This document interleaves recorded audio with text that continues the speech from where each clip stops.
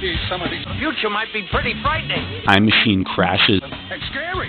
In order to deploy, I'm not sure this is the right thing to that makes it all worthwhile. It'd be nice to be like, well, that time he's gonna kill Jesus, and then he got all that money. Hey, thanks a lot. Oh, city father. This is a smart group. if you talk primitive people. You failed at everything you've ever tried. Whoa, you got my number on that one, buddy. The idea was Christ. With all those super vitamins and fucking right. But open your mind. So if you don't like it, FUCK YOU! people. Twenty years.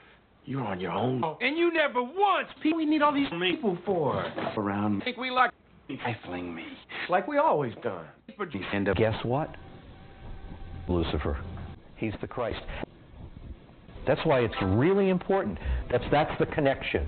God speaks to us in our thoughts. But in What do you think? Size doesn't matter. Whatever. Destroy their self-esteem. Then he'll be ours to mold. Let the judgment begin. I'll get the ball rolling. You're the it. Yeah. I can be kind of thick sometimes.